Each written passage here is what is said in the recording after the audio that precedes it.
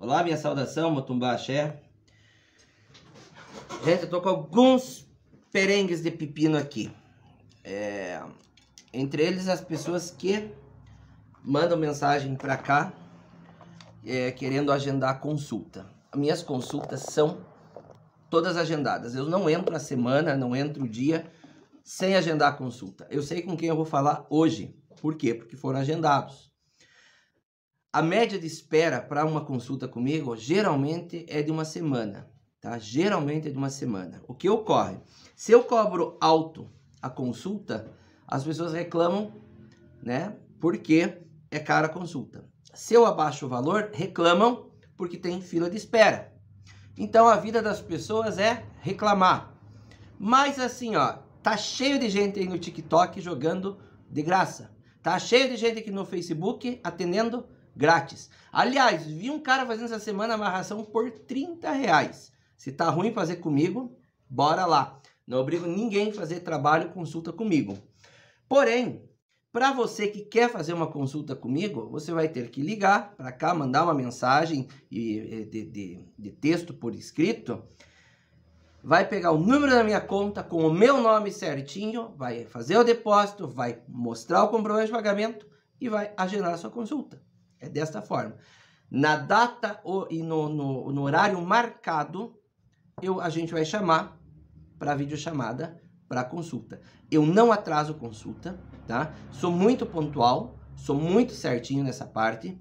E até vou dizer o seguinte, as pessoas só dão valor quando pago. Esses dias para um senhor aí que estava em, em, um trabalho e tal, a gente, é, o senhor precisou, precisava falar comigo e tal, foi marcado. Não foi cobrada a consulta dele. Chegou no horário, adivinha? O cara não, não atendeu. Por quê? Porque ele tinha outras coisas mais importantes do que falar comigo. E agora tá aí querendo falar. Então, vai pagar a consulta, tá bom? Eu não falo com ninguém, seja quem for, de última hora. Porque eu me preparo para as consultas. Eu me preparo no horário, uh, sei com quem vou conversar. Então, se a minha agenda está marcada para atender essas pessoas, é essas que eu vou atender. Eu só trabalho dessa forma, porque eu sou uma pessoa organizada, ok? Eu não tenho tempo. Eu tenho uma agenda muito ocupada, muito ocupada. Se vocês verem minha agenda aqui, ó, dá, inveja para qualquer macumbeiro desse Brasil. Tem médico que não tem uma agenda igual eu tenho. Né? De 10, 12, às vezes 20, 22 pessoas para me atender num dia.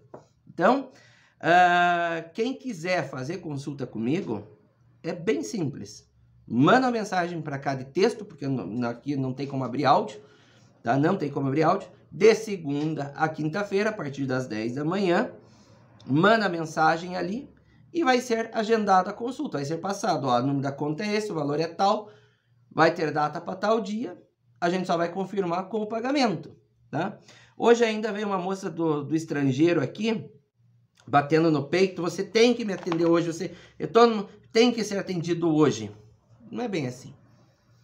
Não é bem assim. Gente, uh, tem clientes meus que, que pagam trabalhos aqui, rituais de 50, 60 mil reais, e eles esperam a, a data e horário marcado, né? Então não adianta ficar às vezes mandando um pontinho de interrogação, figurinha, coisinha, vai passar batido, vai passar, não tem como, tá? A vida é muito prática.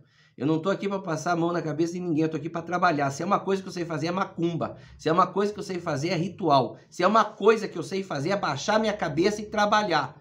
E é isso que eu faço, tá? Eu não tenho contrato de exclusividade com ninguém. Não tenho contrato de exclusividade com ninguém. Não tenho esse contrato. Também não tenho contrato com ninguém de atendimento de urgência de última hora. Tá?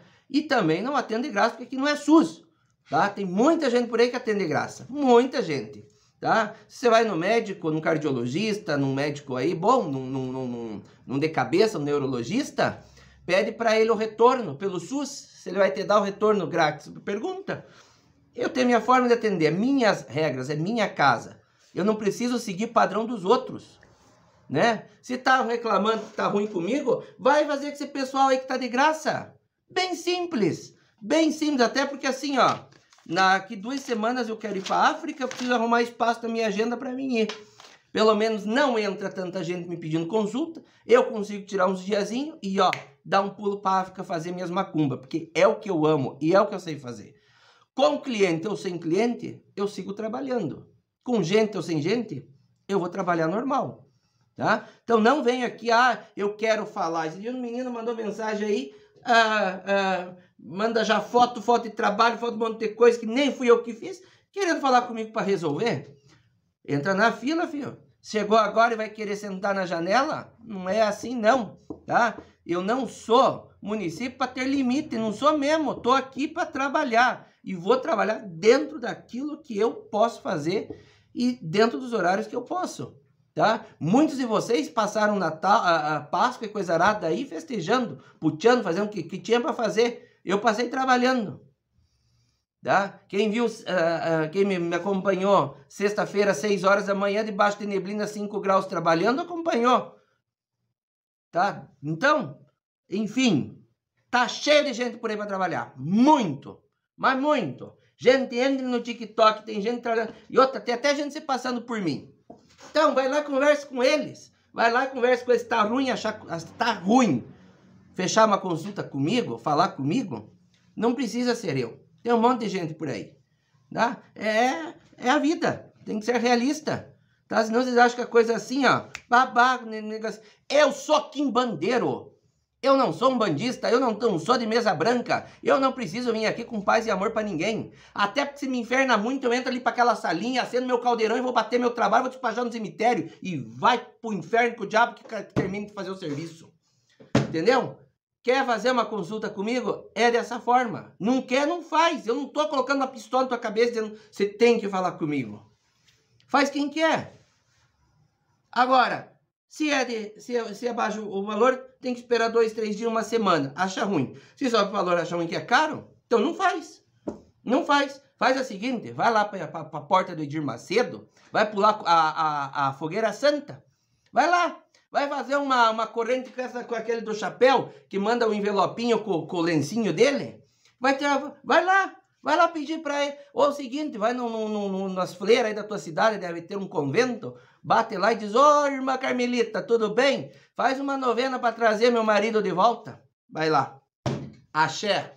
Não gostou? Vaza. Me exclui, me bloqueia, dá dislike e ó, dá no pé.